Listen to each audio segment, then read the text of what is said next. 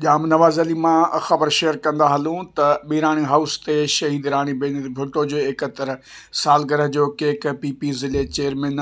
سید ریاض حسین پی پی اغوان اورنگزیب مری پی پی اغوان اکبر مری ضلع کے vice chairman جامع ظہیر علی तकरीब जो केक काटो तकरीब में सेठ अनवर अली राजपूत पी पी जे इतलात secretary Shakeel Marri Sarfaraz Rajar Mashooq Chandio Rukhsana sir Shaista Baloch Rajesh P P Nadir मरी ज़हीर अली थईम समेत वे अंग में कारकुन शिरकत कई उन मौक़े ते पी पी ज़िले चेयरमैन सैद रियाज़ हुसैन चयो त मुंहिंजे लाइ अॼु वॾो एज़ाज़ उहो पी पी जी क़्यादत मूंखे ज़िला चेयरमैन मुकर कयो उन ॾींहं ते शहीद राणी असांजे क़ाइद बेनदीर भुटो जे एकहतरि सालगिरह जो केक पिणु कटियो वियो आहे